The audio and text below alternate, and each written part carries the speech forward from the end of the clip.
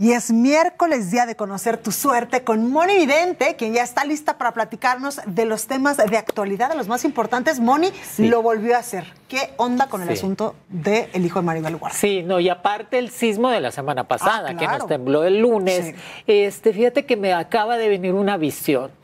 No sé si tanto sea un sismo, pero veo que un que el metro le fue, vuelve a caerse o vuelve a fallar el metro o un edificio grande. Hay que tomar las precauciones de vida, porque si veo una tragedia otra vez en el metro o, algo por el estilo. Es como un edificio que se vaya a caer. Así que hay que tener todas las precauciones. Y que me estaban preguntando que si va a haber sismos. Ahorita todavía no, hasta mayo. pues mayo ya está pero el Popo, el Popocatépetl le está haciendo mucha erupción últimamente y que la gente de Puebla está muy asustada, que todo el mundo me está diciendo, Moni, ¿cómo ves a Don Goyo? Va a ser erupción fuerte, que está haciendo erupción fuerte el de Rusia y el Indonesia y el de Ecuador, pero la carta del mundo me dice que va a seguir así, Blanquita, que no se, no se me alarmen tanto la gente de Puebla, que hay que tener precaución, pero no cambiarse de casa ni nada, porque veo que nada más va a estar así con las fumarolas haciendo erupción, pero no a tal grado para poderse salir. Yo creo que este año no, hasta el año 2024, así que hay que estar prevenidos. Pero qué semana tan fuerte, ¿verdad? Sí, o de, además la salud del Papa Francisco. Sí, qué semana tan fuerte en la Semana Santa que fue definitivamente la carta de la muerte y la carta del diablo que estuvieron azotando completamente en todos lados y en todas partes. La Semana Santa siempre se acerca mucho el diablo, Blanquita, porque la gente está muy cerca de Dios, la religión, y ahí te das cuenta que hubo mucho accidente, mucho fallecimiento. El Papa lamentablemente estuvo enfermo, no pudo dar las misas de la Semana Santa, pero la carta de la muerte me dice que un líder religioso va a fallecer. Ah. Un líder pero yo creo, yo visualizo que es el Dalai Lama, o sea, 88 años. Que también ha estado en el ojo del huracán que ahí lamentablemente la carta de la muerte ya está detrás de él, o el ángel de la muerte, que ahí te das cuenta que definitivamente hay líderes religiosos que nunca debieron ser líderes, que ahí tuvieron que quitarse y que el Papa Francisco tiene que seguirse cuidando. Trae problemas de neumonía, de COVID, la edad, tiene 87, 88 años, que yo te visualizo que ya este año vaya a dejar completamente el Vaticano o ser papa, porque son tiempos, son tiempos de cambio este año. Blanquita, son tiempos de cambiar completamente en todos los sentidos y renovarse. Más en el mes de abril, que es el mes de la muerte, es el mes del principio y el final. Por eso lo que pasó con este Juliancito. Justo, te iba a preguntar de eso, del hijo de Maribel Guardia y también del difunto Joan Sebastián. Sí, aquí, ¿qué, qué qué karma, qué cosa. Yo lo conocí en persona desde que trabajaba en otra televisora, Joan Sebastián. Él fue lo primero que me preguntó, Moni, ¿cuándo me voy a, eh, ¿cuándo voy a morir?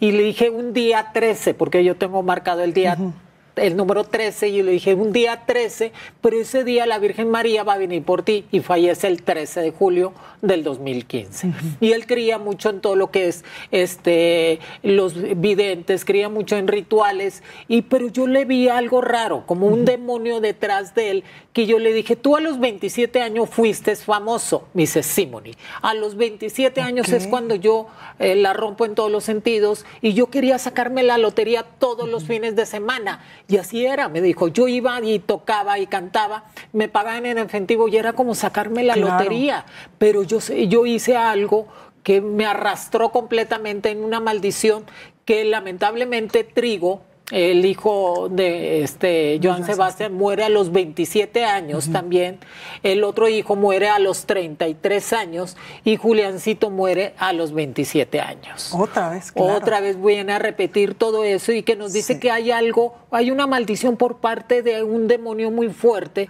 que domina completamente a la familia Figueroa y quiere a los hombres, quiere nada más a la descendencia. Porque llevan tres hombres. Sí, nomás queda uno, José Manuel, que son ocho nada más queda José Manuel, que José Manuel se tiene que cuidar a los 54 años, 27 más 27 son 54, es cuando se tiene que cuidar y brincarla. Si no va a tener una tragedia igual que todos los Figueroa, pero no es la única familia que va a tener ese problema, también los Aguilar. Los Aguilar hay una maldición detrás de ellos o hay una energía de un demonio que los está atrapando. Acordemos que el hijo de Antonio Aguilar estuvo preso por este involucrado en cuestiones de migración y que lamentablemente todas las condolencias a Maribel Guardias es una mujer fuerte, va a salir adelante, le queda un nieto precioso de cinco años que todo el mundo me está preguntando, Moni, realmente de qué muere de tristeza. Sí sabemos que sí tuvo problemas con alcohol, con drogas, que el corazón queda débil. Yo tenía muchos amigos que han estado envueltos en eso, pero no se mueren de eso, Blanquita.